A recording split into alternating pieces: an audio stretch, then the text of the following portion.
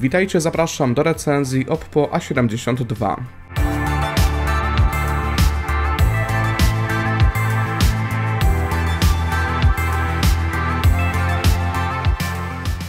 Testy tego smartfona to moje pierwsze spotkanie z marką Oppo i na sam początek mogę zobaczyć, co dostajemy w pułapie cenowym około 1200 zł. Sam telefon ma w sobie parę rozwiązań, które oceniam w tej klasie bardzo pozytywnie. Występują za to dwa aspekty wymagające z pewnością dopracowania.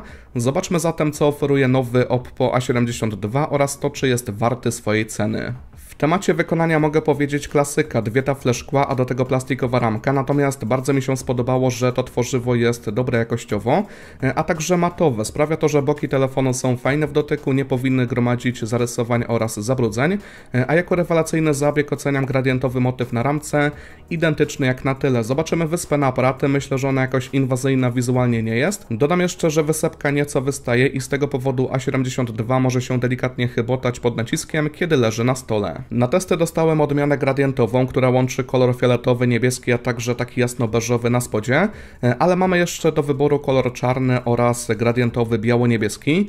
Fajnie wygląda efekt mienienia się tylnego panelu, kiedy obracamy smartfonem pod światło. Oczywiście szkło na tyle gromadzi niesamowicie szybko zabrudzenia, a mówię o tym z tego powodu, że na tym kolorze obudowy jest to bardzo widoczne. E, sporym atutem jest dodawany w zestawie silikonowy pokrowiec, robi wrażenie solidnego i moim zdaniem zabezpiecza obudowy przed upadkami no i też zarysowaniami. Sama wygoda trzymania smartfona stoi tutaj na wysokim poziomie, zagięty panel z tyłu sprawia, że mimo rozmiaru A72 e, trzyma się bardzo pewnie, choć nawigowanie po systemie za pomocą jednej dłoni powoduje pewne kłopoty.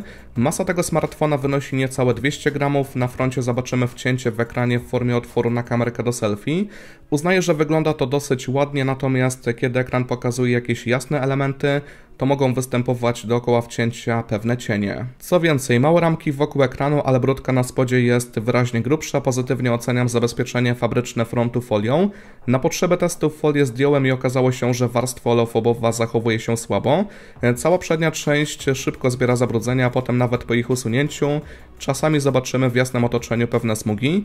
U siebie zobaczyłem jeszcze zarysowania, a telefon testowałem około 2 tygodnie. Na pokładzie mamy złącze USB-C, podwójne głośniki, a także złącze jack, to spora zaleta.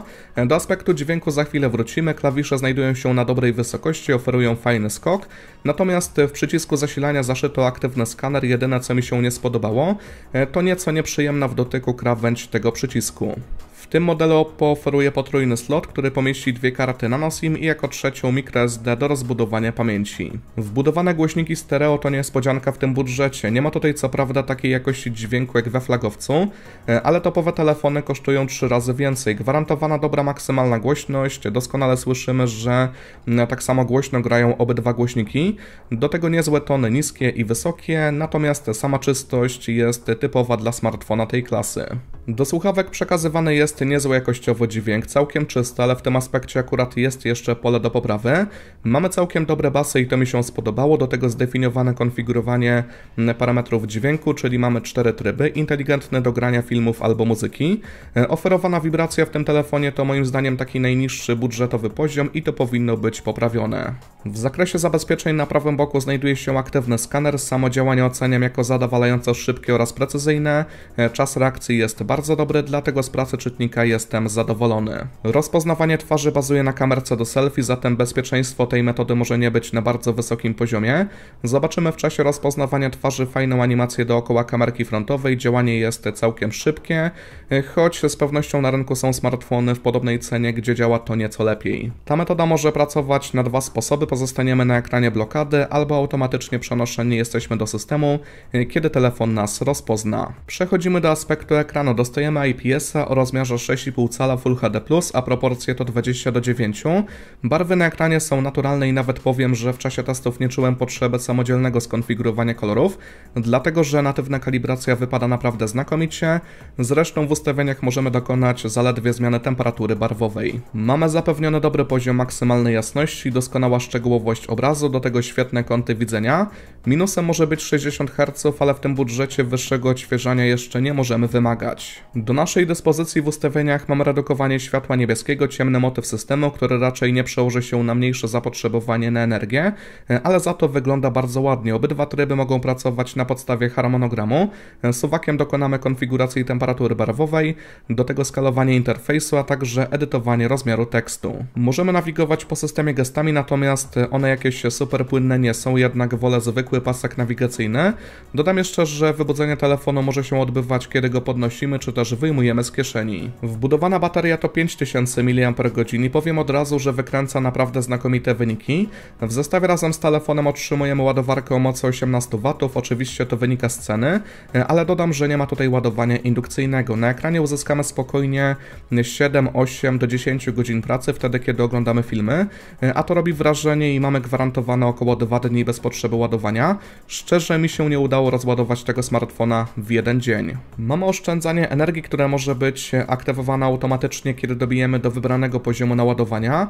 Możemy również uruchomić wysoką wydajność, sprawia, że interfejs działa nieco szybciej, o tym zaraz opowiem.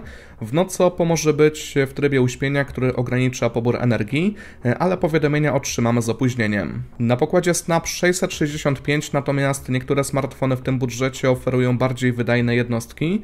Wbudowana pamięć to 128 GB UFS 2.1, oczywiście możemy to rozbudować za pomocą karty microSD, do tego 4 GB RAMu. Mamy także Bluetooth 5.0 NFC do płacenia, to z pewnością jest bardzo ważne. System to nowy Android 10, a poprawki bezpieczeństwa pochodzą z maja. Działanie Oppo 72 jest nieco dyskusyjne. Testuję tego smartfona dwa tygodnie od samego początku występowały spowolnienia klatkowania animacji i to nie wyglądało zbyt obiecująco. Dostałem w ostatnim czasie update, który to działanie interfejsu nieco usprawnił, ale wynika z tego, że to nie do końca porywające działanie utrzymuje się cały czas, tyle że rzadziej zobaczymy spowolnienia. Moim zdaniem powodem tego może być zaawansowana obciążająca systemowa nakładka, albo też po prostu zła optymalizacja i być może Oppo jeszcze to poprawi. Sytuację zmienia aktywowanie wysokiej wydajności w ustawieniach baterii, ale nawet w tego typu trybie klatkowania animacji mogą nadal występować. Zaskoczenie to na pewno nakładka Oppo, czyli Color OS. Oczywiście pomijam fakt, że ona może negatywnie oddziaływać na pracę interfejsu, ale wygląda znakomicie, jest funkcjonalna i bardzo spójna. Mamy rozbudowane personalizowanie systemu, zmiana pakietu ikon na każdej, jakiej pobierzemy ze sklepu Play. Można dokonać zmiany animacji przełączania się pomiędzy pulpitami. Do tego trzy tryby pracy ekranu domowego, możemy nawet ustawić szybkość animacji. Kolejna fajna rzecz to wysuwany panel podręczny, gdzie możemy dodać ikony do ulubionych aplikacji. Mamy także dzielenie ekranu, klonowanie aplikacji, aby logować się za pomocą osobnego konta, wykonywanie zrzutu ekranu trzema palcami i jeszcze wiele więcej. Testowanego Oppo wyposażono w poczwórny aparat, bazowy to 48 megapikseli o jasności 1.7, oferuje fokus z wykrywaniem fazy, kolejne to szeroki kąt 8 megapikseli f2.2, pole widzenia niecałe 120 stopni, do tego mamy obiektyw do efektu rozmycia, także sensor monochromatyczny, kamerka do selfie to 16 megapikseli o jasności 2.0. Nagrywane filmy w ocenie jakości należy podzielić na 1080p i 4K. Nagrania 4K są całkiem szczegółowe, choć zobaczymy, że barwy są podbite, a to nie każdemu się spodoba. Natomiast te problemy zaczynają się w temacie stabilizacji, dlatego że ona tutaj nie występuje. Zatem takie filmy do stabilnych nie należą. Dochodzi do tego jeszcze klatkowanie, bo niestety system ewidentnie nie ogarnia nagrywania w takim rozmiarze. Filmy 1080p są dużo bardziej stabilne, ponieważ działa tam stabilizacja cyfrowa, e, ale detale są wyraźnie gorsze. Wykonywane zdjęcia w dzień za pomocą bazowego obiektywu są zadowalająco szczegółowe. Oczywiście automatyka aparatu wykrywa samodzielnie sceny i dobiera do tego ustawienia. Powoduje to, że barwy są podbite, ale zawsze możemy to sobie wyłączyć. Natywnie fotografie mają rozmiar 12 megapikseli, natomiast możemy je wykonywać w maksymalnym rozmiarze i wtedy zobaczymy, że są one nieco bardziej bogate w detale, co jest oczywiste oczywiste. Samo działanie automatyki oceniam na poziomie dobrym, chociaż czasem jasne obiekty były przepalone. W tym budżecie uważam, że dynamika barw jest na zadowalająco dobrym poziomie, ale konkurencyjne smartfony Xiaomi na tym polu mogą okazać się lepsze. Sytuacja ulega zmianie, kiedy chcemy zrobić zdjęcie w szerokim kącie, zaledwie 8 megapikseli. Oznacza, że detale porywające nie będą, na ciemniejszych elementach czasami zobaczymy szumy, a boki zdjęcia często są rozmyte. Natomiast kiedy nasze otoczenie jest jasne, myślę, myślę, że tego typu fotka może się podobać. Zobaczymy w aplikacji aparatu, że oferowane jest podwójne oraz pięciokrotne powiększenie, z tym, że nie ma tutaj obiektywu telezoom, zatem odbywa się to w formie kropu z matrycy bazowej. Co oczywiste, szczegółowość zdjęcia jest gorsza razem z większym powiększeniem. O ile fotografie z podwójnego zoomu są jeszcze na w miarę dobrym poziomie, to pięciokrotne powiększenie oznacza szumy, nie do końca porywające detale. Takie zdjęcia można też łatwo poruszyć. Co do selfie, detale są wystarczające do tego, aby zdjęcie nam się podobało. Automatyka dobiera zazwyczaj dobre ustawienia. Bardzo mi się spodobały naturalne, lekko podbite barwy. Mamy również rozmywanie tła, ale krawędzie nie są idealnie rozpoznawane. W nocy fotografię możemy wykonywać za pomocą trybu Ultra Night i szczerze okazały się one pozytywnym zaskoczeniem. Nie możemy się oczywiście spodziewać super detali czy braku szumów, ale sporym atutem jest to, że Ultra Night działa dla każdego rodzaju powiększenia. Nie powoduje, że fotografia wygląda mało naturalnie, czyli nie ma efektu jakby zdjęcie było na siłę bardzo jasne, no i też nie jest na siłę wyostrzone. Tego typu zdjęcia mogą być poruszone w podwójnym oraz pięciokrotnym powiększeniu i tak samo jak w dzień detale wtedy mogą być gorsze. Przechodzimy do podsumowania. Szczerze Wam powiem, że mam kłopot, aby ocenić jednoznacznie tego smartfona. Ma naprawdę wiele zalet, czyli dobre wykonanie, fajny wygląd, dobry ekran.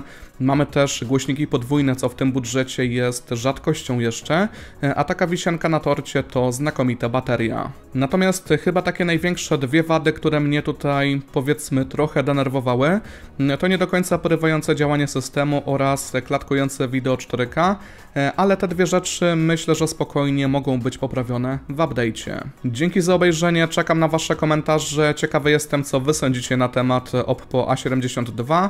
Łapeczka w górę mile widziana, jeżeli materiał przypadł Wam do gustu, a tymczasem do zobaczenia.